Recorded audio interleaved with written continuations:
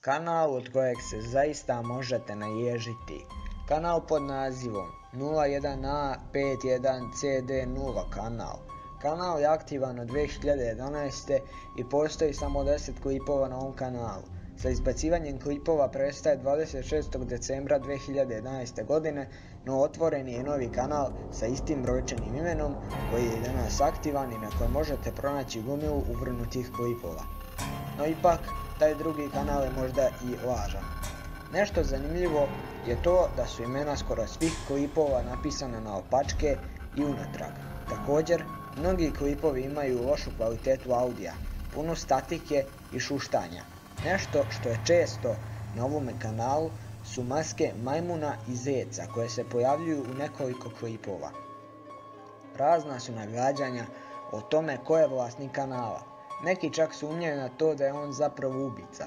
U jednom od njegovih klipova vidimo kako promatra dve osobe na parkingu. No za sve koji veruju u razne teorije, moram vas razočarati. Kanal je napravljen za potrebe YouTube serije The Recordings. Priča govori o YouTuberu imena Blame Truth, kojega su špionirali ljudi sa maskama majmuna i zeća. Na kanalu se nalaze snimci koje on dobio od tih ljudi.